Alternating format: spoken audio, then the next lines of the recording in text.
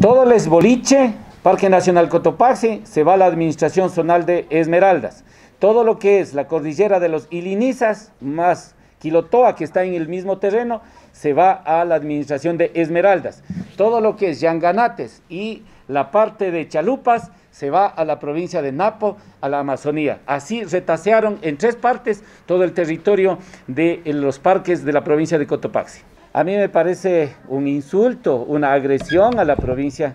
Vendrán a argumentar, a defender, decir que estamos en una acción de eh, no contratar gente. Han de decir que ya no tenemos la regional, ya, tenemos, ya, no, ya no tienen la dirección de Maya aquí en Cotopaxi. Terminaron eso, fusionaron eso. Por eso están los gobiernos provinciales, pues. Tenemos nuestra competencia en el tema del ambiente, en el tema del turismo hay experiencia, hay ideas de trabajo, pero no me parece justo que esto lo hagan. ¿no? Por eso rechazamos categóricamente la decisión de este trabajo que ha hecho desde el ministerio y creemos que hay dos caminos, compañeros, para hacer. La una es la demanda de la inconstitucionalidad, más allá de que el prefecto como persona lo haga, pero el cuerpo colegiado del el Consejo Provincial aspiramos a hacer y aspiramos este, analizar este tema. Entre hoy y mañana ya tomaremos una decisión. Segundo, formalmente voy a solicitar la entrega de competencias de estos lugares, porque es de cotopaxenses, es nuestro.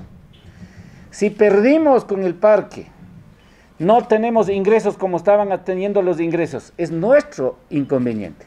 Pero hay experiencia, hay planificación, hay calidad por la cual podemos trabajar.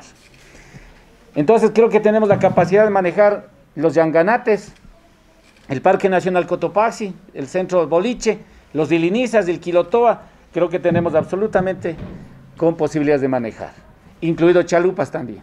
Y trabajaremos con las personas y autoridades que quieran. Yo personalmente no voy a invitar a nadie, no es un tema de Jorge Guamán Coronel como prefecto, es la vocación, el trabajo, la defensa de los cotopaxenses, el que llega a unir esfuerzos, lleguemos y haremos de manera conjunta. ¿Qué pusieron acá?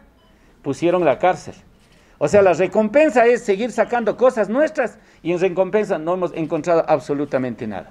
Así que sí estoy indignado, queridos compañeros, comunicadores, periodistas, y estos tres caminos vamos a tratar de este, trabajar en los próximos días. Voy a convocar, dependiendo del tiempo, al, al Consejo en pleno, si es de hacer una extra, o a su vez el próximo viernes 31 es la sesión del Consejo, en el punto del orden del día voy a decir. Y espero que vengan los señores alcaldes, porque aquí necesitamos discutir los titulares.